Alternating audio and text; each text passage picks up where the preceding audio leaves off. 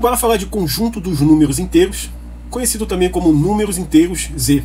A gente tem números negativos e positivos dentro desse conjunto chamado conjunto dos números inteiros.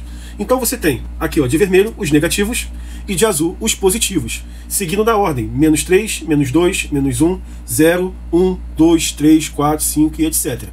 Assim formando o conjunto Z, aonde vem do menos infinito que a gente representa dessa forma, indo para o mais infinito, que a gente representa dessa forma. Menos 3, menos 2, menos 1, 0. O zero é o marco zero do valor, que para a esquerda é negativo e para a direita é positivo. 1, 2, 3, 4, 5, 6, 7, 8, 9, 10 e, diante. A gente tem o seguinte, que o sucessor de 1 é 2.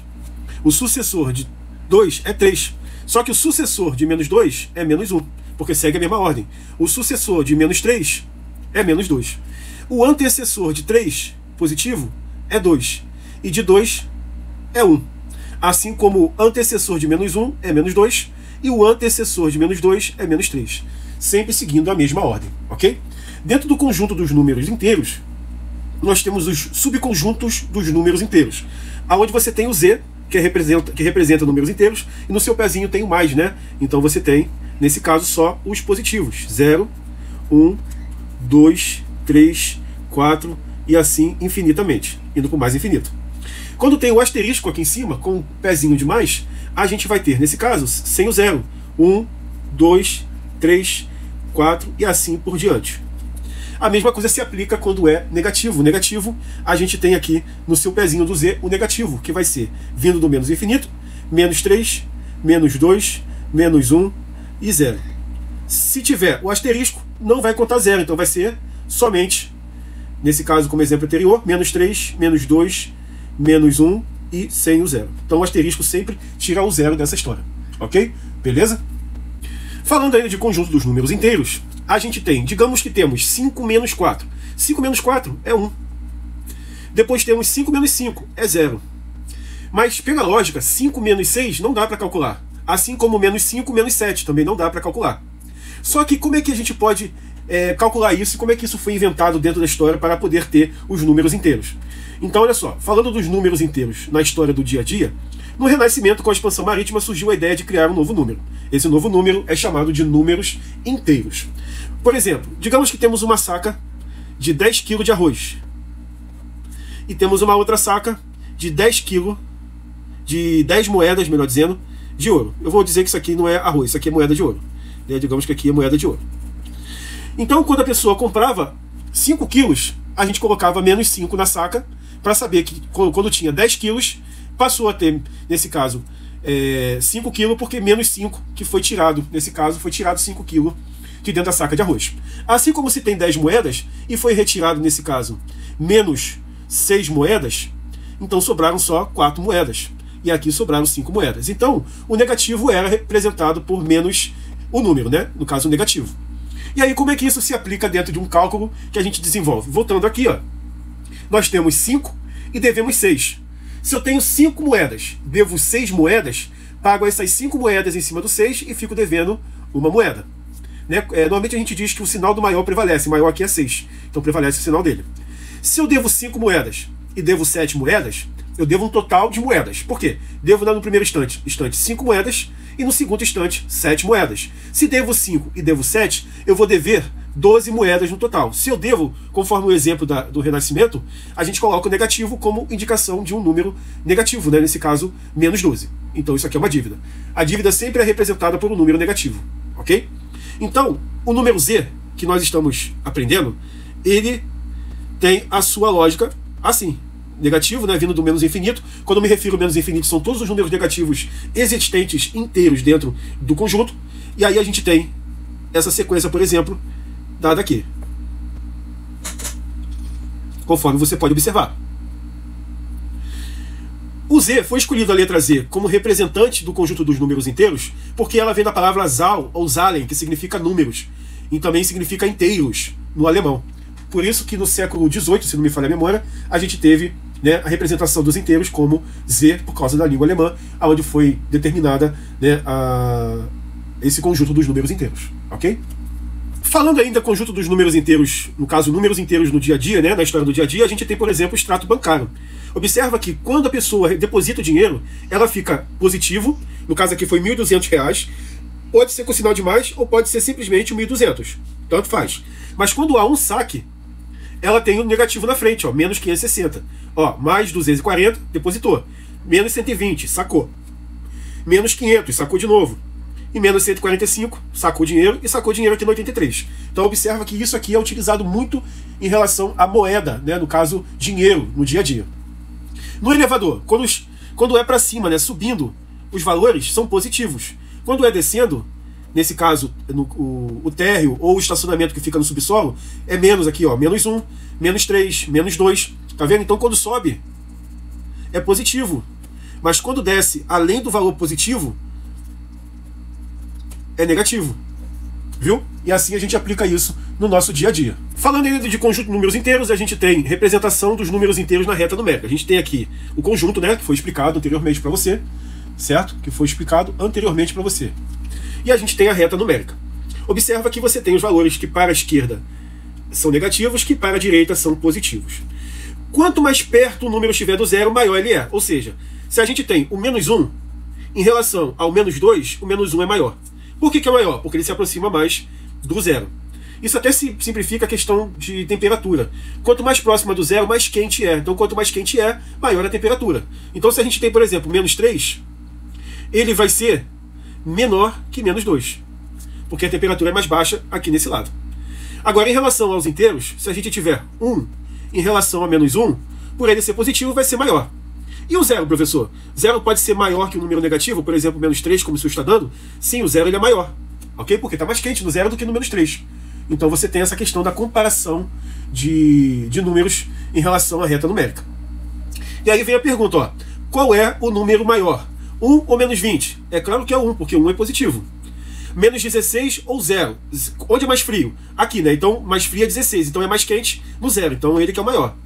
Entre menos 80 e 80, o positivo ganha entre menos 50 e menos 25, está mais quente no menos 25 do que no menos 50. Ou melhor, se você quiser entender como seu professor explicou na sala de aula, o menos 25 está mais próximo do zero na reta numérica. Então, nesse caso, ele é maior. Professor, me explica um detalhe.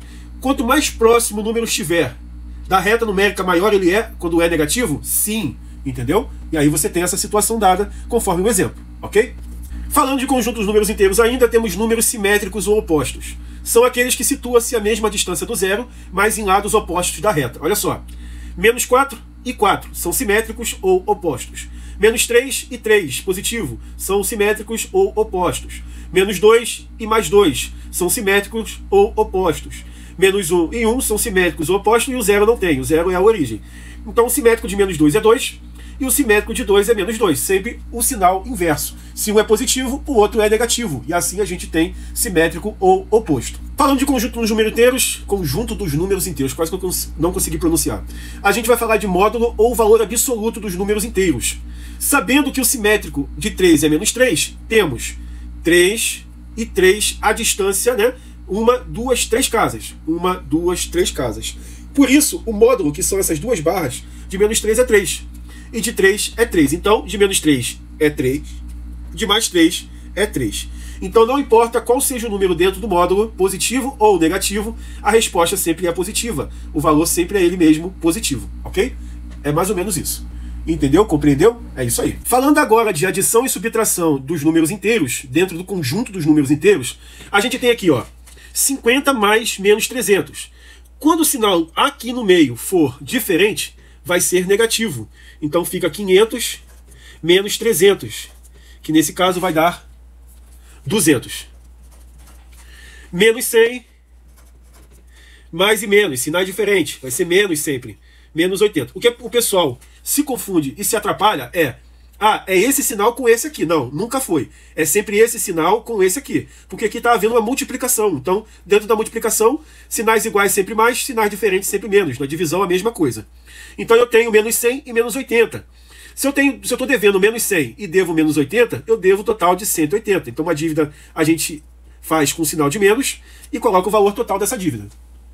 Conforme o exemplo. Ok? É isso aí. A gente tem 10 Menos com mais, menos 9. prevalece o sinal do maior, que é 10. Então 10 menos 9, 1. Então 1 positivo. Agora aqui, ó, menos 30. Menos com menos, mais. Mais o quê? Mais 40. Devo 30, pago 40. Sobra. Devo 30 na padaria, pago 40 reais. O troco é 10 reais. Viu como é que ficou fácil essa linguagem? O negativo eu devo, positivo eu tenho. Ok? Aqui agora, 25. Menos com menos. Sinais iguais sempre mais. 6. Sinais diferentes sempre menos. E aí a gente tem 25 mais 6. A gente vai ter 31 menos 8. 31 menos 8, a gente vai encontrar 20. 30 menos 8 dá 22, 23. Então 23 como resposta. E assim a gente finaliza adição e subtração. Então, resumindo, um do lado do outro sempre para poder calcular. Sinais diferentes, sempre menos. Sinais iguais, sempre mais. Se fosse mais e mais, seria mais também. Ok? É isso aí. Falando agora de multiplicação, a gente tem mais 3 mais 5. Sinais iguais, vai ser positivo. 3 vezes 5, 15. Sinais diferentes, vai ser menos. Só que agora aqui são os da ponta porque é uma multiplicação. Tá? Se fosse uma soma comum, não funcionaria. 4 vezes 2, 8. Menos vezes mais, menos. 6 vezes 3, 18. Menos com menos.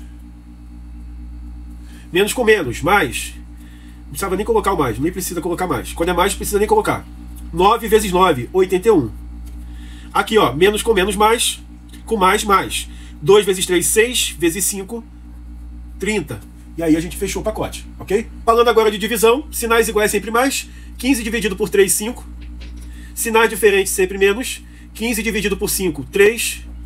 Sinais diferentes sempre menos.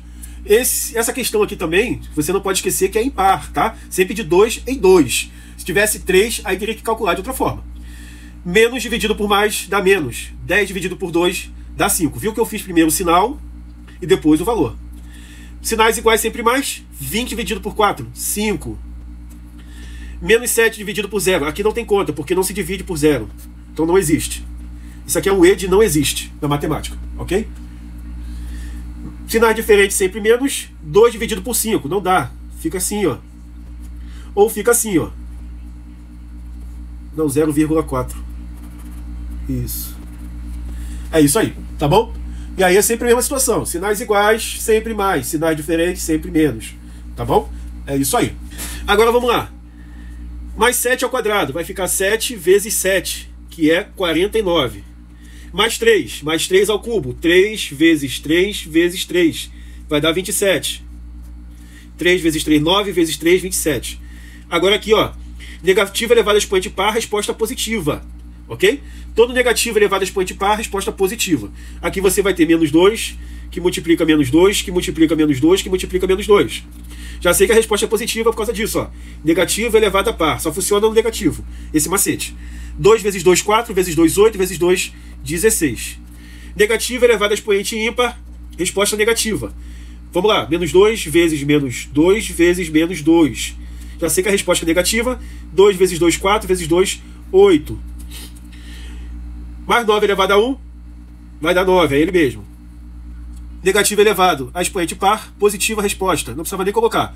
1 elevado a 100 é 1, porque é 1 vezes 1 vezes 1 vezes 1 vezes 1 vezes 1 infinitamente. Positivo elevado a par, positivo, permanece, positivo não muda nada. Só no negativo que tem esse macete. Negativo elevado a expoente ímpar, resposta negativa. 1 elevado a 101 vai dar 1. Todo número elevado a zero é ele mesmo. Todo número elevado a zero é 1 a resposta. Então veja bem, quem está sendo elevado a zero aqui é o 8. Então o negativo prevalece. É, esse valor elevado a zero vai dar 1. Então fica menos 1. E assim a gente conclui a nossa questão. Aí? Tranquila, beleza? E não deixa de assistir as aulas de exercício que eu tenho, vai aparecer aqui no vídeo para você poder praticar, tá bom?